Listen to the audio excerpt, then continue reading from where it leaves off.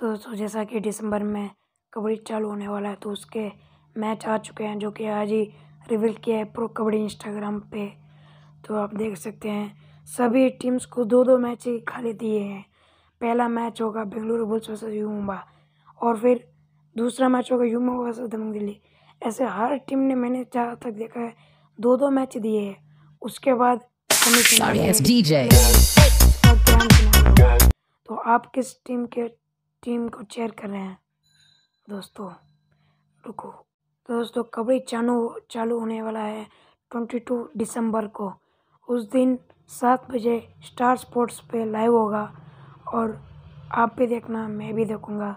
बड़ा ही मज़ा आएगा। कितने, एक साल बीच में टू थाउज़ेंड ट्वेंटी में नए हुए थे। हमने बहुत मिस किया कबड्डी को। इस बार मिस कर मिस मत करना। Hash tag pro kabaddi hash tag willow kabaddi.